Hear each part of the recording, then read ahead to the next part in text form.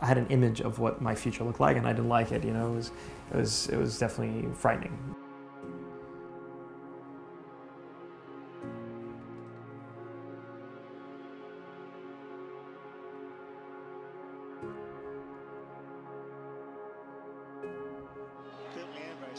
I definitely dealt with some dark days.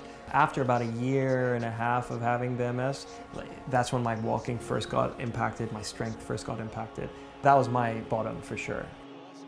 I started using a, uh, a cane, um, and then the cane quickly gave way to walker and, and a wheelchair. I mean, things had moved very, very quickly. It felt uh, for a long time that MS had taken over my life. There wasn't much that it had left for me. Sports was, was taken off the table pretty early on for me. Even wheelchair-based sports, just because my, my hand-eye coordination isn't what it was, um, and my hands don't work as well as they used to. MS has changed the way me and my family interact because they've turned into my carers as well as just my, my family.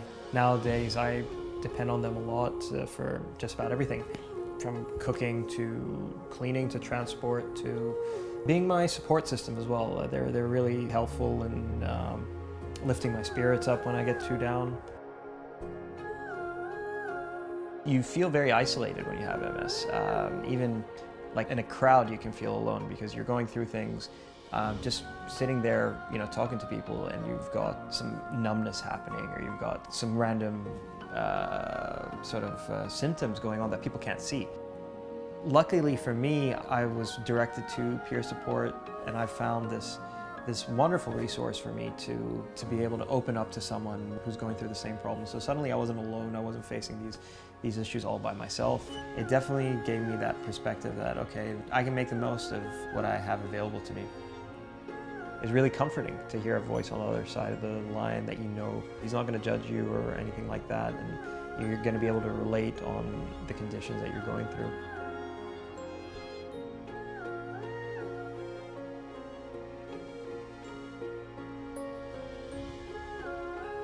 I think it's really important that we keep this program well funded and running well.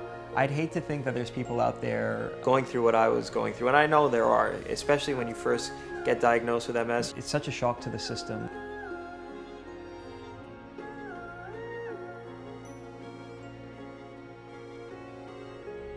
I think no one should face MS alone. I've got a great uh, support system at home. I still miss that little extra link of talking to someone with MS who can really give me that insight into how they dealt with MS. That experience, that firsthand experience is so important. We wouldn't be able to continue without your donation and the help of you wonderful donors